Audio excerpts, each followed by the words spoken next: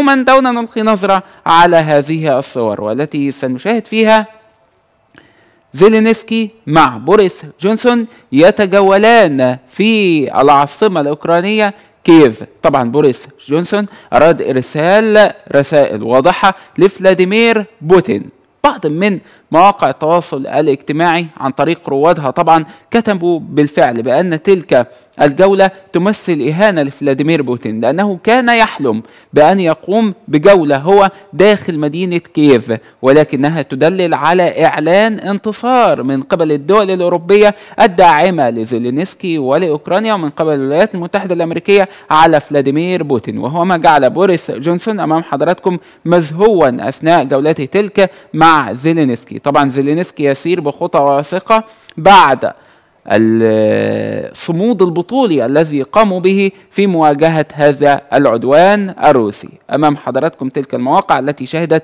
اشتباكات قوية وحامية للغاية بين كل من الجيش الأوكراني والجيش الروسي.